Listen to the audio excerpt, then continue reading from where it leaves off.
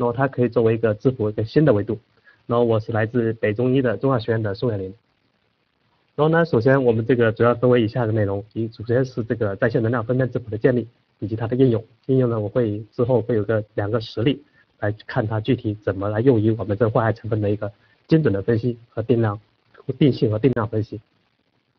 那首先我们来介绍一下能量分辨质谱，因为我们要讲的是一个在线能量分辨质谱，把这个在线去掉呢，它就是一个能量分辨质谱。能量这分辨质谱，它的英文就是说 energy resolved mass spectrometry，就是说它是一个靠着一种通过改变碰撞能量，改变母离子的内能，依据不同内能的母离子碰撞活化分活化分解的子离子丰度，随能量变化方式研究碰撞活化的机理，能量沉积模式的质谱方法。随着串联质谱的快速发展。通过 ERMS，也就是说能量分辨质谱，获得目标母离子的裂解曲线，以广泛应用于同分异构体的区分。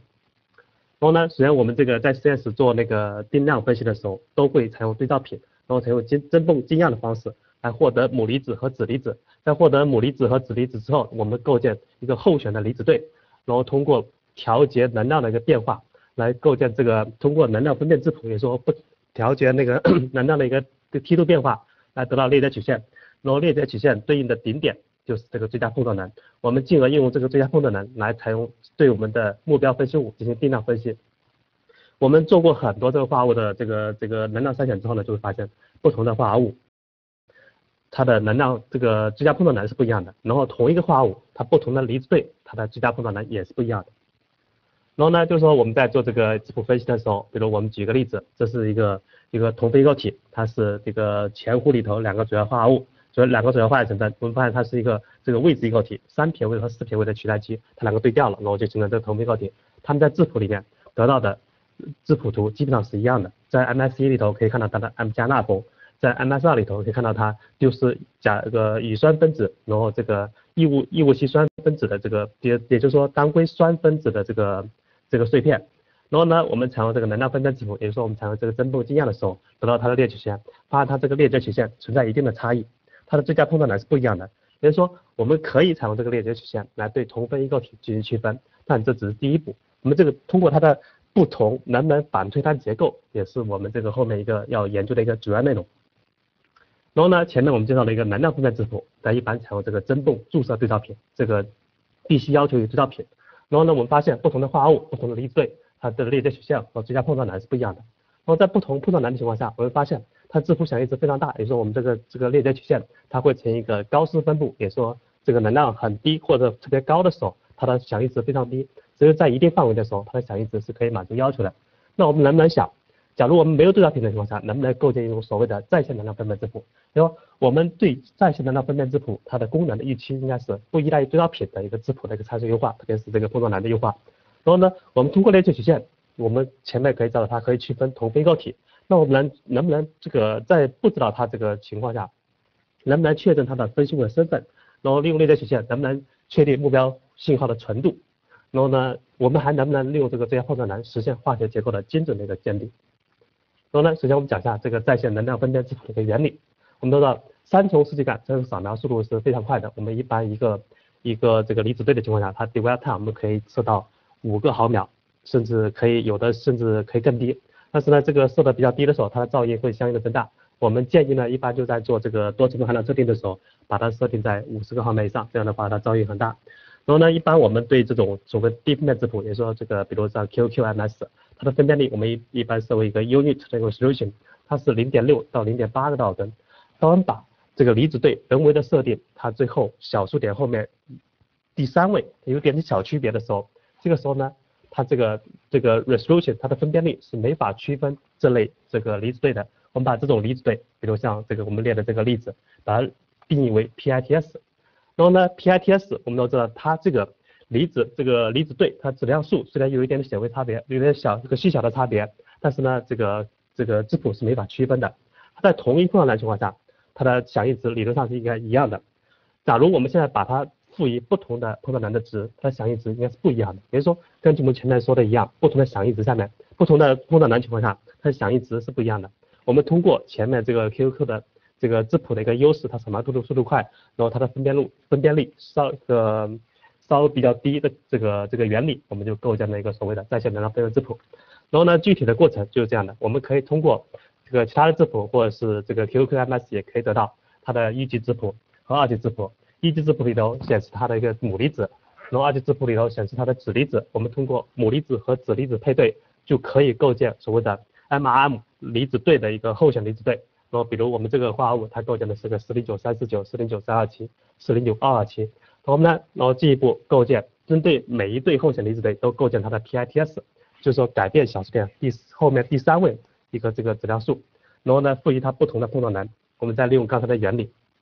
得到它不同碰撞的情况下的响应值。这个时候最大的响应值对应的就是应该最佳碰撞能。那我们这个看到一个结果，我们这个 step step size 就是步长设的比较大，应该是五个电子伏特。我们可以看到它在不同的碰撞能情况下，它的响应值确实存在差异。然后呢，再把这些封面积给导出来，然后呢，再通过高斯曲线进行拟合，它的顶点对应的就是一个最佳碰撞能。所以说，我们通过这个在线能量分辨质谱，结合列这个裂解曲线，就可以获得我们感兴趣的这个离子对，所以说我们感兴趣这个化合物的一个最佳碰撞能。我们利用这个最佳碰撞能，就可以来实现我们这个所谓的一个定量分析。然后呢，我们也通过很多对照品进行一个这个验证，发现。我们通过在线能量分辨质谱找出来的这个最方最大碰撞能，与我们通过增泵增压的方式找出来的最大碰撞能是完全一样的。然后呢，这个我们做了一系列胆酸的例子，我们发现这个不同的胆酸类型，包括游离型胆酸、结合性胆酸，然后发现它的不同的裂解方式，它都会对应不同的碰撞能，然后它的碰撞能非常有规律，你不同的这个裂解方式，这样的碰撞能的分布区间是非常小的。比如说，我们后期也可以用这些碰撞能它的一个性质。来判断它的裂解类类型，甚至可以判断它的一个取代位置。然后我们的总结是，不同的裂解途径对应的是一个最不同的最佳碰撞能，不同的化合物它的碰撞能也是存在显著的性差异，跟我们这个离线的一个这个能量分辨质谱它的结果基本上是一致的。然后呢，我们前面是对于小分子的一个这个这个最佳碰撞能那个筛选。那我们对于这个多肽，因为中药很多这个有效成分甚至是多肽，比如像这个阿胶啊。一些这个动物类药物，它很多这个多肽的成分。那我们多的对于多肽的成分，能不能利用这个能量分辨这这个在线能量分辨质谱来得到它的一个最佳碰撞能，以及它的一个最佳的一个我们得到一个离子对的信息？我们也是可以通过这个 QE 或者其他的一些高分辨质谱来得到它二级图谱，它的母离子和子离子，然后进行配对，构建了它的后显离子对。那我们对每一对后显离子对都采用在线能量分辨质谱，然后得到它的一个响应值，然后呢再再构建一个高斯曲线。来这个，也就是说裂解曲线来获得它的最大碰撞能。比如说，我们通过很多这个多肽化合物的一个实践，可以发现，通过在线的分辨质谱结合裂解曲线，可以获得目标多肽的这个这个最佳的一个离子对和以它一个最佳的一个碰撞能。然后呢，我们前面是这个一般是要获得一个最佳碰撞能，但是我们发现很多时候，特别是这种含量非常大的这个某个中药，它里头的这个某个化学成分含量特别大的时候，它的线性范围其实是难以覆盖它的含量的。比如说我们在做那个中药前糊的时候，发现它里面的前糊甲素的含量可能是远大于其他的化学成分。当我们要考虑到这微量成分对它这个药品进行配置的时候，我们就发现这个前糊甲素的它这个这个线性范围难以对它进行一个准确定量。然后在前面我们发现它这个不同的碰撞难情况下，它的响应值是不一样的。我们在想。能不能通过人为的改变它的一个碰撞能，比如说我不采用这个最佳的碰撞能，我采用一个非最佳的碰撞能，来人为的抑制它的响应，这样的话它的响应值下来了，然后后面的这个所谓的检测器检测器也不容易达到饱和，检测器饱不饱和的话，它的线性范围有可能进行一个延伸，那我们就把这个做一个实践，我们看到它最佳碰撞能三十五电子伏特的时候，它的这个线性范围是比较窄的，当人为的压制它的这个响应，采用一个非最佳的一个碰撞能，呃，比如十八个电子伏特。然后发现它的线性范围，然后可以达到一个很大的延伸。然后呢，我们就认为最佳的一个质谱参数，在某些时候它不一定是最合适的，特别是对于这种大的极性跨度的时候，我们可以人为的采用这个这个离子响应抑制的方法，采用一个非最佳碰撞能的方式来改变、来定制它的线性范围。然后通过采用这个非最佳碰撞能，可以抑制这个目标化合物的质谱响应。那我们也可以通过调节这个碰撞能参数，定制我们的线性范围，实现大含量。跨度化学成分的同步定量分析，也就是说实现这种常量成分、微量成分，甚至是极微量、恒量成分的同步定量分析。然后呢，这是一个实例，就是说在这个肉成分当中，它里头的甘露醇、松果菊苷、毛铝化糖苷的含量是特别高的。当我们对这些小含量的微量成分进行定量的时候，发现它的已经超过了它定量上限。这个时候呢，我们这个就是要抑制它的这个，要避免它的这个检测器的饱和。这个时候呢，我们就筛选了不同的一个碰撞能，然后构建它的这个标准曲线。然后我们来发现这个采用在线能量分振质谱可以来得到它的一个最佳一个非最优的一个碰撞能，然后抑制它的质谱响应，避免这个检测器的一个饱和，可以扩展它的定量上限。然后呢，这个要对很多化合物进行同步定量的方法，定量分析的时候，我们就可以采用这个很多仪器，比如像 Dynamic M M R M 或者叫做 Q Trap 里头的它 Schedule M R M 的模式，说这个灵敏度可能会更高一点，因为这里头涉及到一个 Dwell Time，可以这个拉得更长一点。然后呢，通过这种方式呢，我们就可以扩展它的线性范围，然后我们这个就实现了幼虫当中它这种大含量成分，比如甘露醇、中果菊苷、毛硫化糖苷，以及某些微量成分，比如那些这个木质素类或者环形醚腆苷类化合物的一个同步的一个定量分析。然后呢，前面我们讲了这个一个怎么筛选这个参数的问题，然后呢，我们再把那个业务范围再进行延伸一下，也是肉虫这个例子。前面呢一直有个争论。就是说，肉虫当中到底是存在一个半乳糖还是半半乳醇，这个半乳糖醇还是甘露醇，这一直是一个争论。因为这两者它的分子分子量，然后它的质谱，它的包括它的 M R M 离子类都是完全一致的。然后从结构上来看，我们看到它只是一个叉叉异构体。然后呢，要准确的判断它俩是到底是哪颗，其实这个真的是很难的，因为它的这个两者在色谱上的出风时间是完全一致的。但是我们在做的时候就发现，假如我们对它这个目标离子对比如说这个幺幺八幺对多少的时候，它一个两者的类别曲线是存在一个显著性的差异。然后我们通过构建这个半乳糖醇、甘露醇，它这个类别曲线，以及我们把两者进行一个同比例的混合，来再进而构建这个混合物的一个类别曲线。然后在对实际样品进行分析的时候，再构建这个这个我们捕捕获到这个风的一个类别曲线。然后我们通过这两个 match 一下，这这四条这个类别曲线进行 match 的话，我们就可以发现。肉肉虫当中只存在甘露醇，而不存在这个半乳糖醇，也是我们解决了一个这个这个非常棘手的一个问题。然后呢，在这个做这个肉虫的分析的时候，我们还发现这个这个毛硫化糖苷，它在这个甲醇中放置的时候，它会发生降解，然后降解产物那就是在毛硫化糖苷后面一点点，然后可以看到它的冲锋时间。但是呢，这个目标化合物呢，它冲锋时间正好跟异毛硫化糖苷以及顺势毛硫化糖苷是一致的，所以说我们现在。通过这个质谱，然后呢，因为异毛硫化糖苷和顺势毛硫化糖苷，它质谱基本上是一样的，它的母离子和子离子完全是同样的数值，然后我们就没法判断它到底是降解为异毛硫化糖苷还是顺势毛硫化糖苷。那么为了解决这个问题呢，我们首先就说我们采用一个这个这个把这个反应进行放大，然后呢用核磁先鉴定了一下它大概是什么样的，然后呢另外一条路我们来构建这个我们可以设置到这些对照品，像这个。毛硫化糖苷、一毛硫化糖苷和顺势毛硫化糖苷对照品，我们来构建它的这个类别曲线。然后呢，对这个这个我们这个体系里头降解体系里头，它这个重新出现的目标峰，我们也可以构建它的一个类别曲线。这样的话，我们通过类别曲线的一个 match 来判断它应该是顺势毛硫化糖苷，而不是这个异毛硫化糖苷。然后我们再通过核磁数据的分析，也进一步确证了这个毛硫化糖苷它可以降解为这个这顺势毛硫化糖苷。然后呢，也就是说，我们这个右边这个这个这个例子，它是通过一个双键的一个这个顺反异构，而不是一个先接的迁移来发生降解的。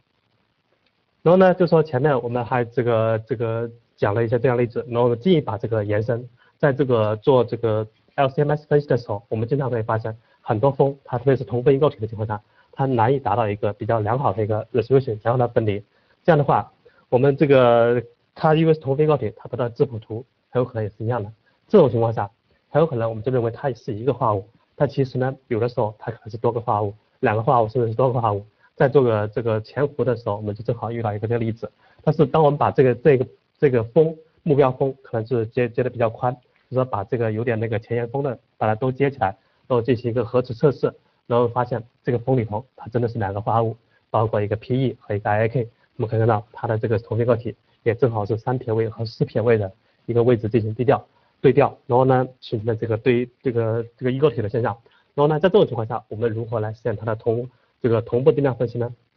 那我们在前弧当中就继续找，找到一个跟它类似的，也是这个 PA 跟这个 PTE，也就是白化成功假数跟那个派瑞森，发现它两者正好也是三撇位和四撇位的先机进行对调，然后形成这种异构现象。我们来对它进行一个深入的质谱分析，看看能不能寻找到我们有用的信息。然后呢，这两个化合物正好它就是这个。它正好可以达到一个比较良好的色谱分离，我们来构建它所有的后线离子对，来构建对后线离子对的这个链接曲线，然后发现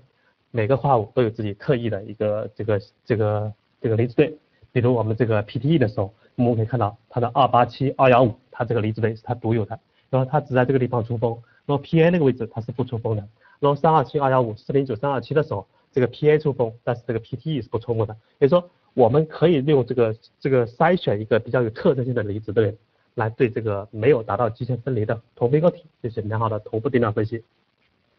然后呢，我们就再把这个应用到这个这个 LKKPE 上，因为它没有完全分离，所以呢，只是有特异性的这个离子对的时候，我们才可以得到它良好的一个连接线。然后呢，我们就说也利用之前的一个例子，然后呢，就说把这个应用到这看它链接方式，那我们确实也找到了像这栏三二九二二七四五幺三五幺这个离子对对 LK 它是这个响应比较好，但是四五幺。这个三四九的情况下，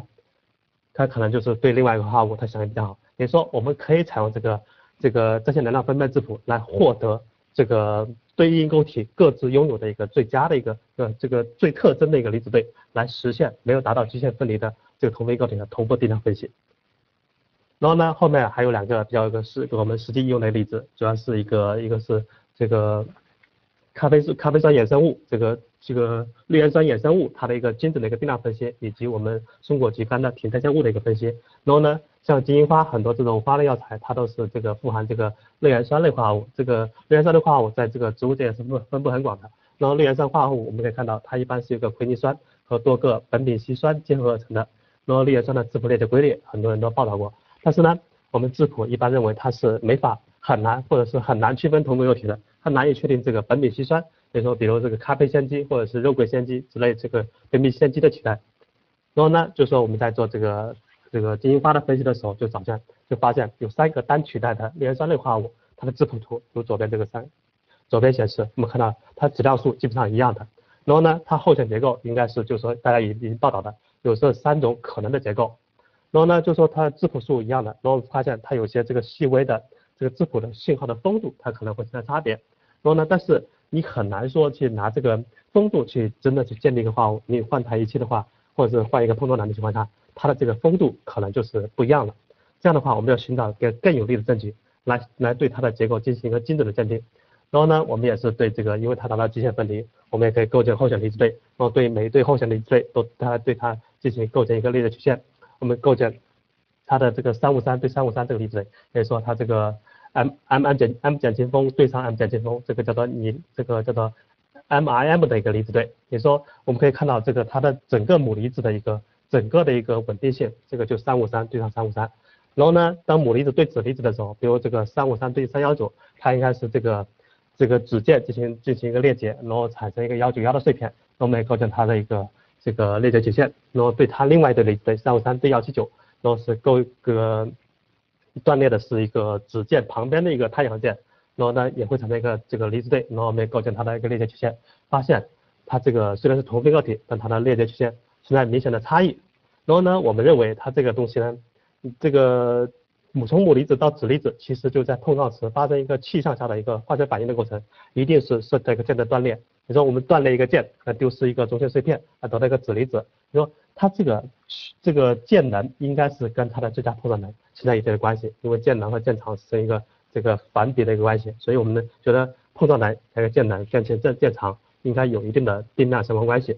然后进一步我们就采用这个化学计算，比如高斯软件，我们来计算它这个子键以及子键相连的这个太阳键的一个键长和键能。我看到这个是它三个可能结构的这些这个这个理化的一个参数，这个键键的一个参数。然后呢再总结前面一张 PPT，它这个。这个 C 五零也是它它母离子对上母离子它的一个大小顺序，然后这个 OCE 三五三幺就有这个幺九幺这个大小顺序，以及三五三幺七九这对离子的大小顺序，然后呢再结合它的这个计算出来的一个键的一个参数来得到它的一个结构，我们就推测它这个第一个谱对应的应该是这个化合物，然后把它对应关系找出来，然后呢这个是我们进行一个通过这个理论上的一个计算，它应该是得到这个结构，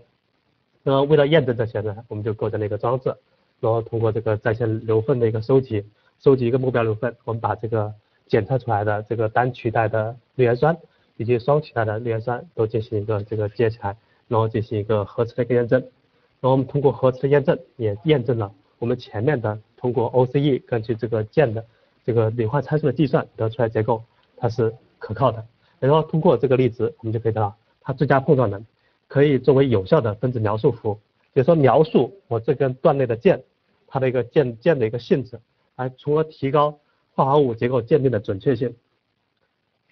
然后前面是一个绿盐酸的例子，然后我们再进一个这个我们课题组做了一个比较久的一个化合物，它的代谢产物的一个一个分析。然后呢，这个是一个松果肌苷，松果肌苷它是肉虫植物的一个类似于标志性成分，它的主要的也是它的主要化学成分以及主要的药效成分。然后呢，这个肉苁蓉它已经开发成这个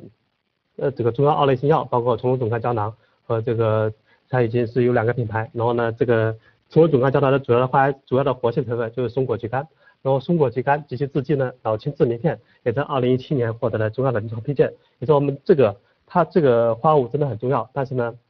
很遗憾它的代谢体内代谢产物尚未被完全阐明的清楚。那我们呢，这个松果肌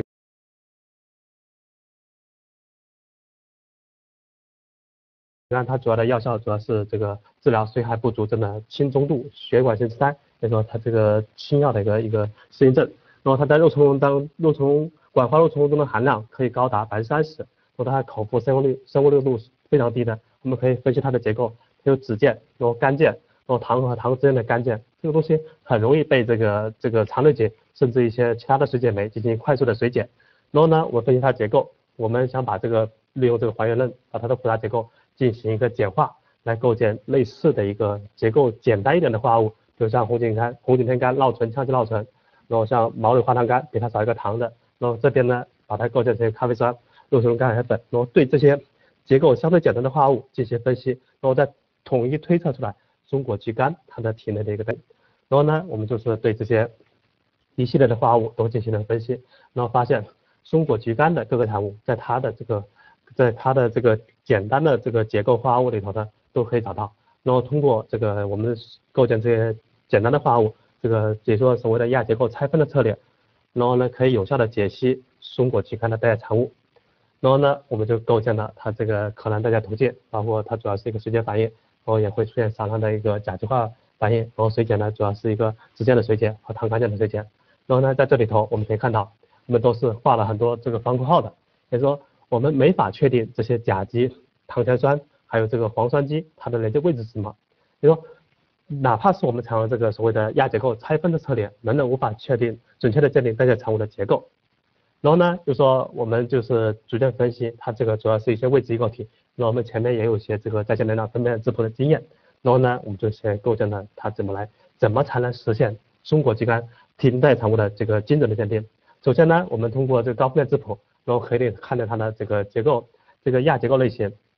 比如它的母核是这样的，它具有哪些取代基。然后就可以获得它的很多结构信息，然后呢，这个它在色谱上有一定的保留时间，然后呢，现在这个像定量结构保留关系已经广泛用于这个化合物的结构鉴定，比如说我们利用它的保留的性质来反映它的结构特征。另外一方面，我们看看它能量分辨质谱方面，在这能量分辨质谱方面来获得它的最佳碰撞能，来描述它一个断裂的一个化学键。这样的话，我们通过以上信息的整合，有可能能够鉴定松果肌苷的这个这个代谢体内代谢产物的确切结构。然后呢，就是说，首先我们高分辨质谱信息我们就获得了，进一步我们来构建一个定量结构保留关系。这个定量结构保保留关系呢，我们为了扩大它适用性，我们分别采用了三种方式，一种是常规的反向色谱，还有一个亲子综合色谱，以及我们这个实验室构建的比较一个独特的一个反向色谱与亲子综合色谱直接偶联的一个系统，来选用了大概一百多个化合物，来在这个三个系统里头分别构建它的 q s 关系，就是 QSR 关系来。确诊它的一个结，呃，获得它的一些结构的信息，然后呢，我们对这些构建的定量结构保保留关系进行一个确证，我们看到这个理论值和这个计算值，它的相关度还是很大的。我们一共采用了一百八十四个化合物，在三个模型上分别进行了构建，然后呢，发现它确实跟它的一些这个参数有一些这个关系，然后呢，三个三个。三个色谱系统呢，因为它的保留原理是不一样的，可以进行一个互相的一个补充。然后呢，它主要的一些这个影响它的保留保留性质的一个参数，主要是它的一个这个表面这个这个这个氢键的一个受体啊，然后它的一些这个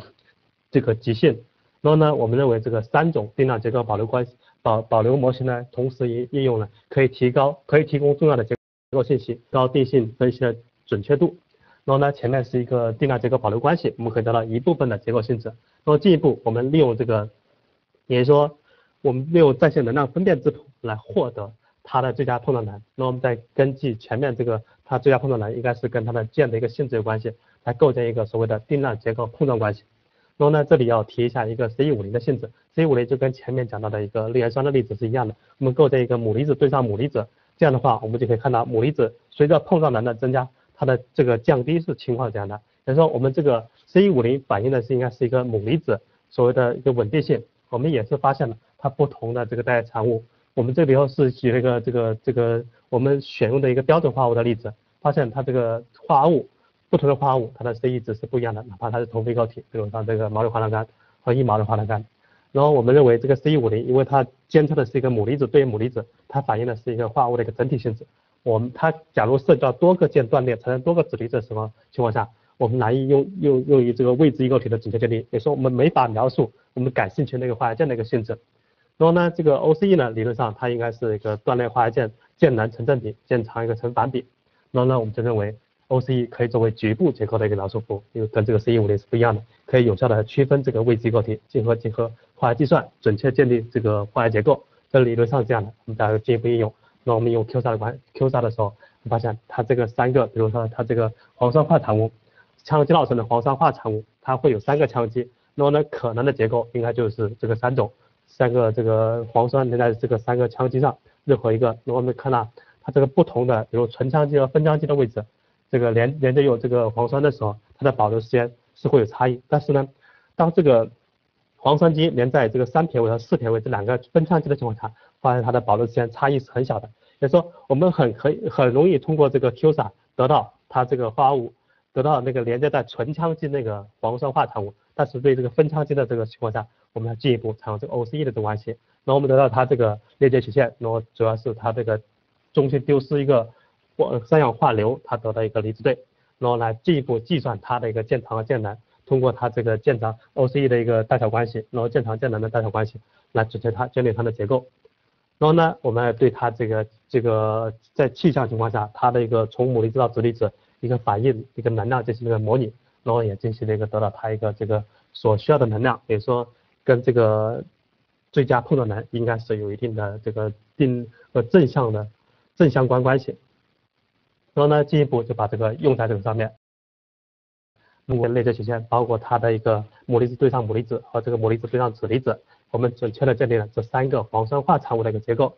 然后呢，就说这个定量结构碰撞模型可以提供重要的结构信息，特别是我们感兴趣这个化学键，进而提高定性分析的精准度。我们这个前面也是一些理论计算，然后一些理论推测，我们再把这个化这个代产物进行一个分离，来用核磁来鉴定它结构。这是 M 二，我们可以鉴定它结构，它确实是连在这个四 K 位的分羟基上。那我们进行一个这个另外代谢产物的分离，那么这个代谢产物我们通过这个核磁数据的分析，发现它是连在三撇位的一个分羟基上。那么另外一个化合物，它的保留时间是靠后，的，在这个反向的时候，它保留时间是靠后的，发现它是连接在纯羟基的这个这个黄酸化产物。然后呢，我们就是对前面这个这个松果阶段代谢产物一个小结，我们认为这高分辨质谱这个是 LCMS 最常规的一个方法。它可以提供初步的结构信息，那我们通过这个定量结构保留关系，可以对这个同非构体进行进行筛选。就比如刚才那个黄色化产物，我们可以把这个羟分这个纯羟基上的黄酸化黄色化产物先把它踢出去，把它鉴定出来。然后进一步，我们通过这个 OCE 和结构这个，也就是说化学键的关系，进一步确认 M 二和 M 四的一个归属。然后三者的结合可以实现 GLCMS 的一化学结构的一个准确鉴定。比如说，我们不用采用其他的方式，也不用采用分离，就可以鉴定它的准确的一个结构。然后呢，通过这个一系列操作，然后呢，黄酸化产物、全色化产物、甲基化产物等一系列代谢产物结构，我们都进行了一个鉴定，然后就推测出它的一个这个它的这个代谢路径，包括线基迁移、有个乙酰化、然后还原、水解这一系列的，我们之前就可以推测的这一个代谢的路径。然后呢，对前面所有的工作进行一个小结，比如说这种。在线能量分辨质谱，它区分于这个能量分辨质谱，也就是说把能量分辨质谱进行一个在线化，它可以实现不依赖于对照品的一个质谱参数的优化，这个是一个非常常规的操作。我们构建通过构建一个个 PITS，然后呢看不同的这个看 PITS 在不同的碰撞情况碰撞能情况下的一个响应值，来得到一个最优的碰撞能。然后呢在这个进一步，我们可以利用这个在线能量分辨之后来实现精准的定量分析，包括来确定它是不是这个化合物，它这个化化合物它是不是有这个这个有其他的这个 impurity，就是说它杂质在里头，它也可以使进一步扩大我们液相的一个分离的能力。然后第三个呢，就是说在线能量分辨字符可以实现化合化合物结构的精准鉴定。我们在这个氯盐酸的例子以及松果肌苷代产物的例子，然后我们也应用到这个里面。对它的化学结构进行了一个精准的鉴定，然后呢，总之在线的分图可以作为这个质谱新的维度，来增强定性和定量分析的功能。然后呢，这是我们发表的一些相关文章，大家如果有兴趣的话，可以把这个很多详细的信息都在这个文章里头，大家可以把这个文章找来看一看。然后呢，可能就说比我讲解的更详细一点。然后呢，就说我们一系列工作也得到了很多这个很多这个大家说的支持，包括我的导师像涂飞教授、江勇教授。还有李军教授，然后也以前的一些提供很多帮助的，比如像王一涛教授、万建波教授，然后杨凤清教授等，然后在这里也感谢一下。那么主要工作可能就是说，因为我可能做的比较少，主要是我们整个课题组做的，就包括像赵云芳博士、孙文清博士，以及很多这个这个研究生，包括刘文静、曹岩等。那我们这个这个项目呢，也得到了很多这个这个基金的支持，包括自然基金呐，然后一些横向课题啊，然后在此也表示一下感谢。然后呢，这个我们这个引用最后引用一张这个搞分析化学的人经常用到一张图，就说我们看到的往往是冰山一角，我们就更多的是看不见。你说我们只有通过不懈的努力，才能把这个整个冰山的结构把它了解了解的比较透彻。